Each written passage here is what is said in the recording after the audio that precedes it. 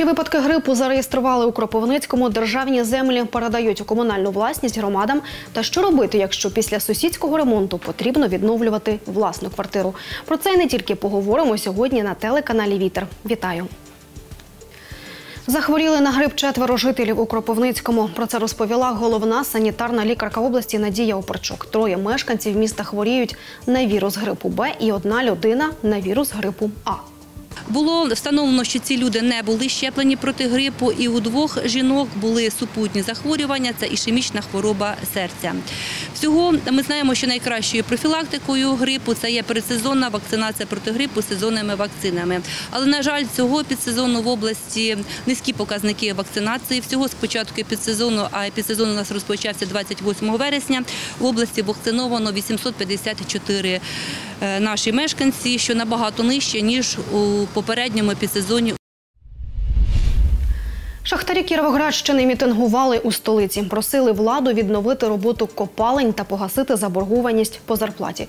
Нагадаю, 7 грудня майже 5 тисяч гірників відправили у вимушений простій. Все через борг єдиного покупця урану компанії «Енергоатом». Підприємству «Схід ГЗК», до складу якого входять три уранові копальні області, вона заборгувала понад 140 мільйонів гривень. Шахтарі вимагають, аби їм виплатили півторамісячну зарплату і відновили роботу підприємства. Зі своїми вимогами шахтарі звернулися до Кабміну та президента. В міністерстві повідомили, що е, директор НАЕ- НАЕК «Енергоатому», що коштів у них нема. І той борг, який на сьогоднішній день є, вони не можуть виплатити згідно графіку платежів, який на сьогоднішній день є погодженим із е, ДП «Східзк». Ми звертаємося до влади. Якщо вам потрібно наше підприємство, якщо потрібна урановидобувна галузь і незалежність енергетична України, то, будь ласка, е, підтримайте нас та відновіть працездатність ДП «Східзк», а також е, потрібно е, зробити все, щоб три шахти єдині в Україні працювали на благо енергетичної, енергетичної безпеки країни. На засіданні Кабміну урядовці пообіцяли, вже з 20 грудня зарплату шахтарям виплатять. По нашим розрахункам, приблизно на 18 грудня ми виходимо е, на отримання коштів е, в спеціальний фонд державного бюджету. Е, І з 18 грудня ми почнемо вже роботу по випуску цих коштів відповідно на шахти для виплати зарплат шахтарів. Тобто це десь відбудеться там орієнтовно з 20 грудня. Дякую. Зрозуміло. Дякую. Виділена сума, е, Сергій Михайлович Марченко, сума це 1,4 мільярда гривень, які виділені власне на виплату шахтарям. Я не помиляюсь правильно, тобто ця сума є Так, і вона буде виплачена. Так, як передбачено відповідно змінами до закону про бюджет. Землі сільгосппризначення отримала в комунальну власність Гайворонська громада. Це 3913 гектарів. До цього земля була у державній власності. Нині ці ділянки мають стати важливим джерелом формування бюджету громади. Землю планують здавати в оренду. В більшості це вже фермерські господарства, вони у нас невеликі, не роздрібнені від 2,5 тисяч гектар і там до 100 до 150 гектар люди мають свої землі, які обробляють на інших межах сільських рад. Ну, це були землі державної власності, які були роздані і що Держгеокадастром, що Держ, е, що обласна- районна державна адміністрація в оренду на певний період часу. Зараз ці значить максимум попрацювати з фермерськими господарствами, з власниками цих паїв, з власниками, ті, які орендують орендарями паїв. Як для мене, це домовитися про підняття ставки відсоткової, що по закону має бути як мінімум максимум 12%, мінімум 4%. О, і почати працювати на розвиток громади. Передачу земель із державної до комунальної власності розпочали ще два тижні тому. Нині громади області вже отримали майже 62 тисячі гектарів земельних ділянок. Для порівняння це приблизна площа колишнього Вільшанського району. Життя у власній квартирі може стати нестерпним, якщо сусіди починають ремонт. У цьому переконалась кропивничанка Олена Коротка. Півтора місяця не знає спокою. З відчаю звернулась за допомогою до журналістів. Що робити, якщо ваші сусіди порушують тишу? Анна Гончаренко дізнавалась.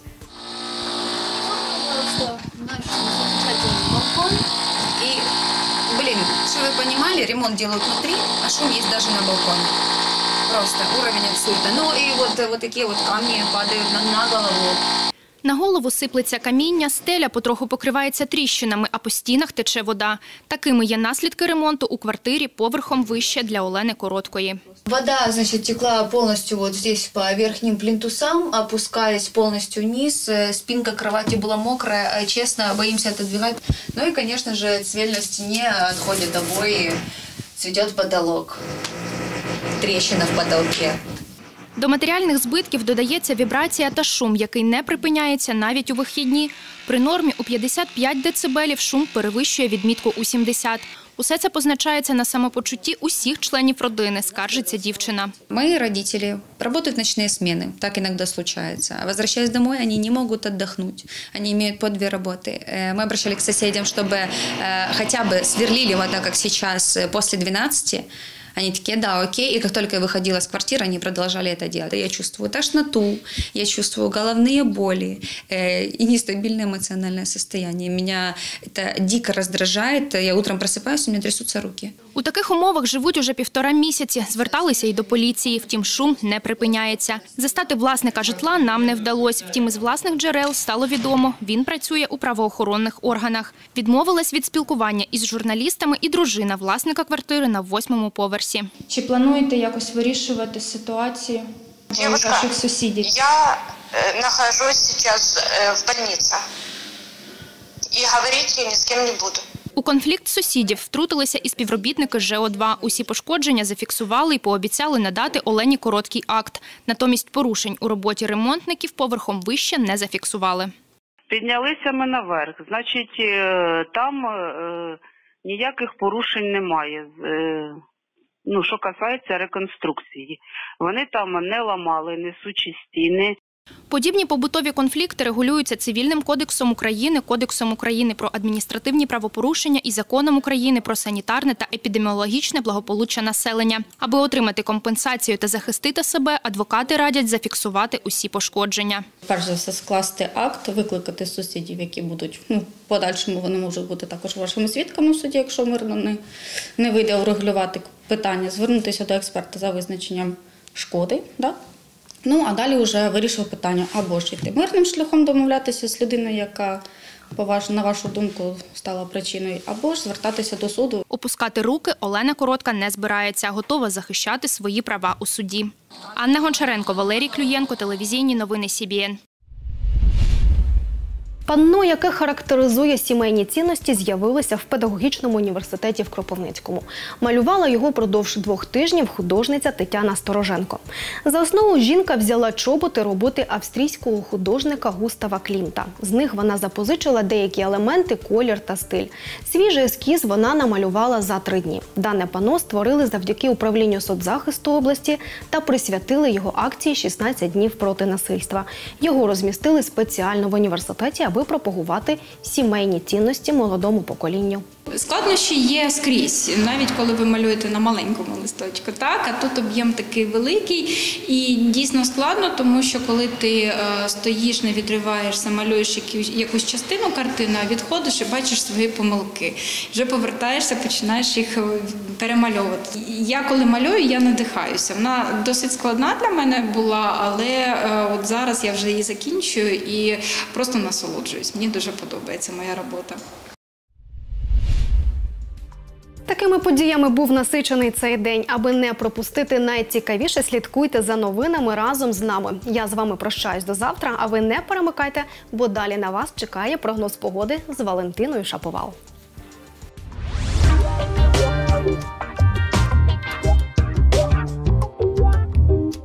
Вітаю! Ви дивитесь прогноз погоди.